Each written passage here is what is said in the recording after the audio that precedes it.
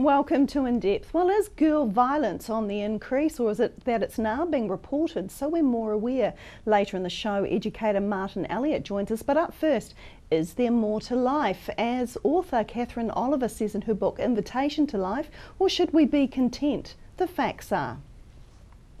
The Bible Society survey in March to June 2008 showed 46% of New Zealanders describe themselves as Christians. So that means we have 1,955,000 Christians. 15% attend a church at least once a week, 20% a month.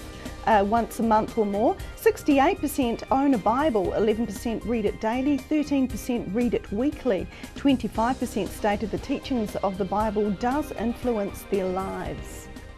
Author Katherine Oliver joins us now. Welcome to the show, Katherine. Thank you.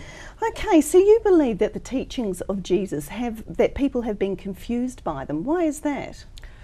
Well, because there are so many ideas about Jesus and about Christianity and so many denominations, I sometimes wonder which church Jesus would belong to if he were to come. Um, there's debate about the origins of the Bible, about the existence or otherwise of God.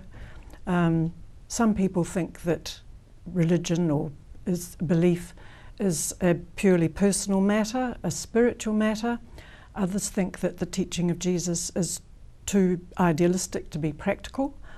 Others are waiting for God to intervene, whether on a um, global or personal um, level. And a lot of people try to live their best, you know, do their best, but in a society which is full of violence and anything but conducive to treating other people as you'd like to be treated, which is one of Jesus' main things.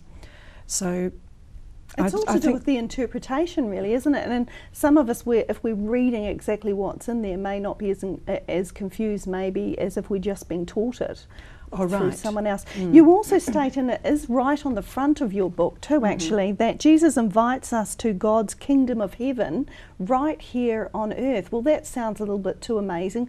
What do you mean by that, and how is that possible?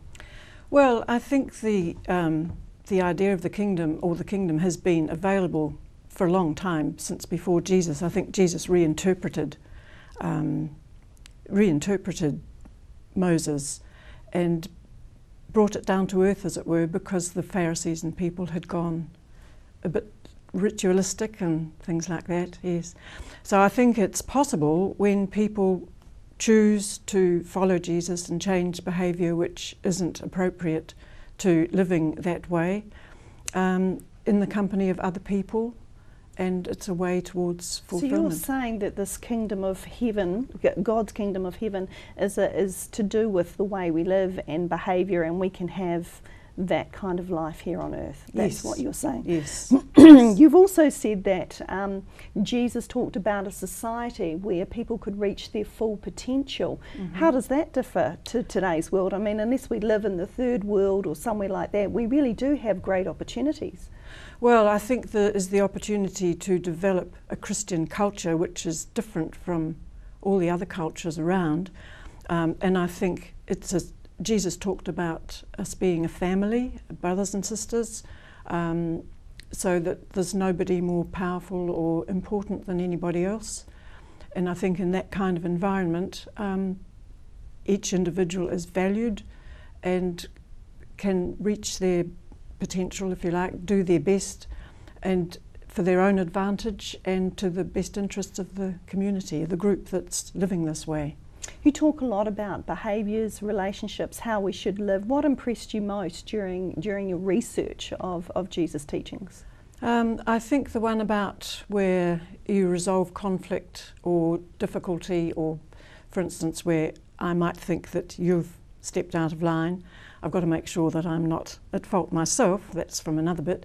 Um, and we talk about it one on one, and if we can't resolve it, we enlist one or two other people to mediate.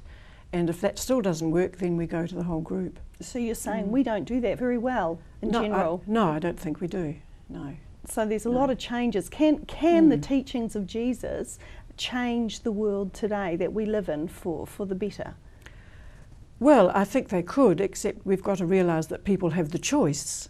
They can choose not to and I think Jesus set out the consequences of ignoring or not accepting his invitation. We, Mm. we do know a lot of this information that's in, in the Bible, don't we? In fact, we many of us use some of these things whether we would describe ourselves as Christians or not. So, is it because we know that it comes from the Bible that it works, or why do we use it anyway? Uh, well, I think it is. It probably works, and we use it because it works to a limited extent because it's a bit piecemeal and because everybody doesn't do it. Um, it doesn't make much difference to the structures or lack of structures in the surrounding society.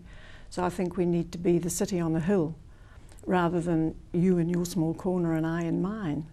And, and so you're saying this, the teachings of Jesus is relevant for the world today. Oh, yes, yes. I think it's timeless and universal. You, Yes. you have made a comment, it's on the back of the book. Uh, why,